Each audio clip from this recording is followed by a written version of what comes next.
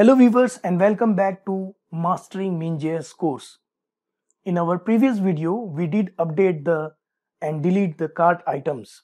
In today's video, we will fix a bug that we have so far in our project. In today's video, we will retain the user once he or she is logged in or registered to Product Mart application. Therefore, once a user is logged in and he or she refreshes the page, he should be logged in only. So in our today's session, we have these requirements to fulfill. Users should be able to log in to our application only if they have already registered and entered correct credentials. Once a user is logged in and refreshes the page, then the user should remain logged in and the system should identify them. Next, we will also make sure once a user is logged out, then it should be navigated to the login page again. We also have a requirement to handle any HTTP errors happening in our Angular project and show the error to the user. Finally, we want to show HTTP errors in some toaster format and the requirement is to use Angular Material Snacks module. With that being said, let's see after finishing this session what you are going to learn. So first thing you will learn is how in Angular you can create an HTTP interceptor to handle global Angular HTTP errors. Next, you will learn how we can use Angular Material Snacks module to pop up and show messages and auto close them.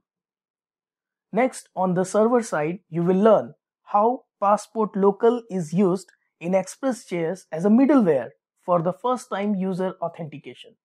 Next, on the server side, you will again learn how Passport JWT can be used in Express as middleware for authenticating revisitors.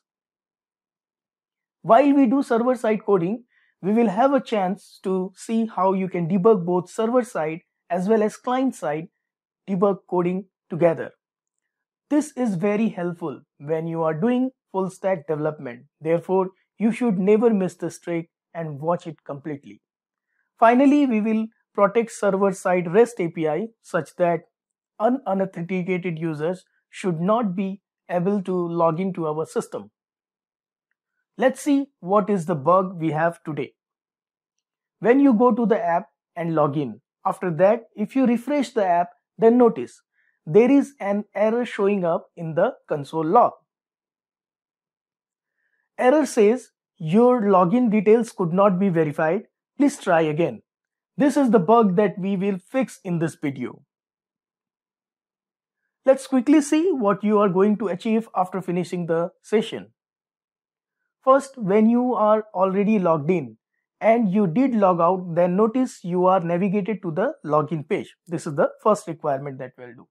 Next, if you log in, then you will be navigated back to the products page. That is the second thing we'll do. After that, if you refresh the page, then you will notice that the user is still logged in. There is no error. And you will verify that the user is found on the server and also it is logged in successfully automatically. So there is a lot to learn from this video. Get ready and bring your laptop, open Visual Studio Code and let's jump into the coding directly. And in case you are interested to download the source code, slide and step-by-step -step guide, then make sure you do subscribe to the Elite or the Pro plan in Full Stack Master.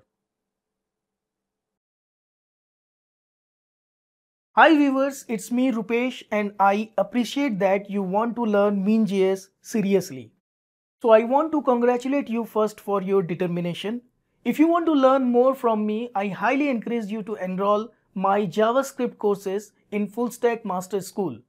You can watch this entire course and many JavaScript in-depth courses as many times as you want.